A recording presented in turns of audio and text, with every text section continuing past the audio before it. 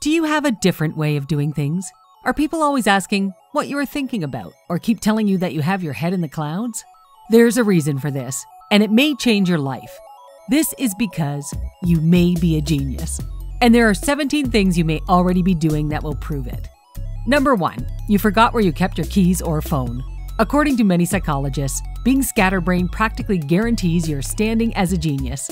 This is because people who are contemplating the meaning of life rarely have time to keep up with their car keys and cell phones. When you're a genius, it's hard to be preoccupied with the mystical meaning behind the workings of the universe, and at the same time, remember where you left your reading glasses.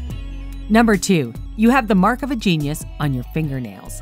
Most people's fingernails have a half moon circle at the base of them called a lunula. However, having a bright white half circle at the base of your thumb has been determined to be the sign of a genius. People who have this distinctive mark on their thumbnails are said to not only be adept at remembering and connecting chronological events, but also possess logical reasoning abilities. Number 3. Your frontal lobe is bigger.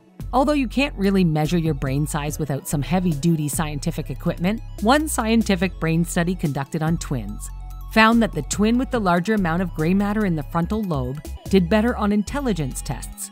The link between intelligence and brain volume has been explored in other studies, with some positive conclusions, and appears to be hereditary.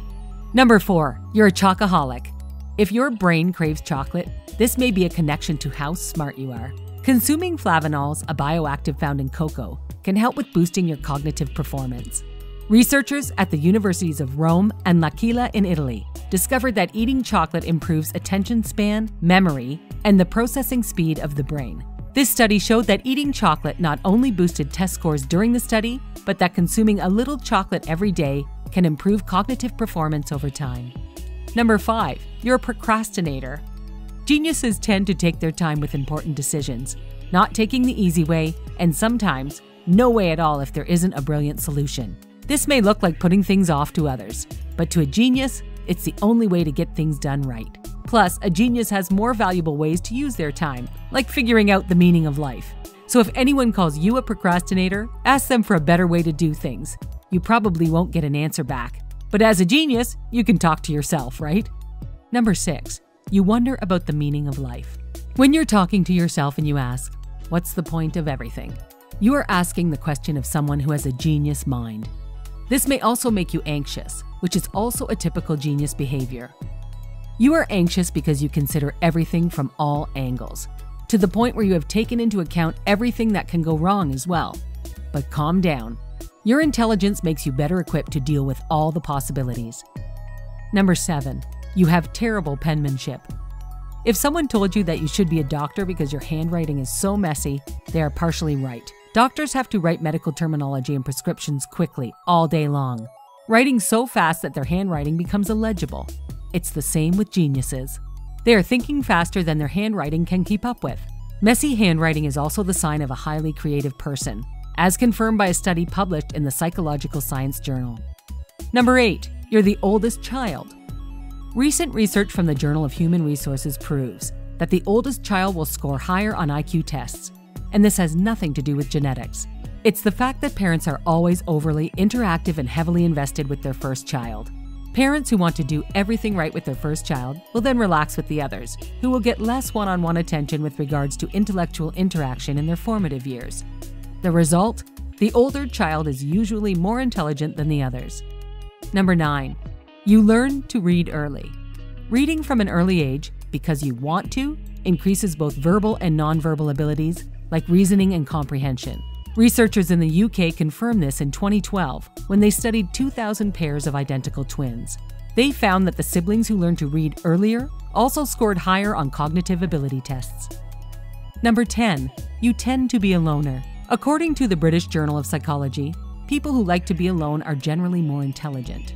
And talking to yourself, if you're a genius, is also fairly common. Saying your thoughts out loud while you are alone solidifies them in your brain Talking to yourself also helps with your logical process of thought. Besides, who better to talk to than the most intelligent person you know, yourself? 11. You may have been labeled as one of the quiet people.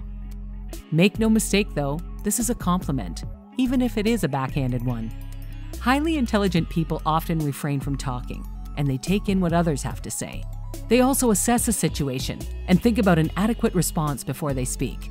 And geniuses simply know when it is better to say nothing at all. 12. Your desk is unorganized and your house is a mess.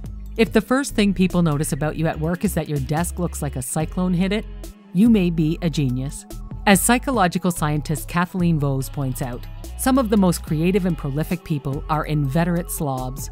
Although other people may try to make you feel bad about your messy surroundings, the prevailing theory is that if you don't spend time organizing and cleaning everything around you, it means you are probably working on more important things inside your head. Things they just wouldn't understand. 13. You are consistently preoccupied with your thoughts. We've already covered the part about you being a quiet genius, but if people are always asking you, What are you thinking? This is the other half of the equation. Being easily distracted and allowing your mind to wander is a strong sign that your mind is much more capable than you may know. People who aren't bright are always grounded in reality because that's all they have. But as a genius, don't get sucked into limiting yourself for their approval. 14. Things come easier to you than others. If you can often figure out things or solve problems before others, guess what? You're getting into genius territory. Smart people simply don't have to try as hard as others who have to struggle to build up their computer skills, math abilities, or reading comprehension. If anyone has ever called you a know it all, then you know what we are talking about. 15. You wear the same clothes every day. If you spend minimal time thinking about your wardrobe, then you will have much more brain power to devote to your infinitely important genius thoughts. This strategy works for likes of Steve Jobs and Mark Zuckerberg, who often wear the same color shirts ad nauseum. Even Albert Einstein only had three suits to his name in order to help him focus his mind on his genius ideas instead. 16. You are forgetful. Geniuses' brains are so full of thoughts and knowledge, there isn't much room to remember birthdays, appointments, and due dates.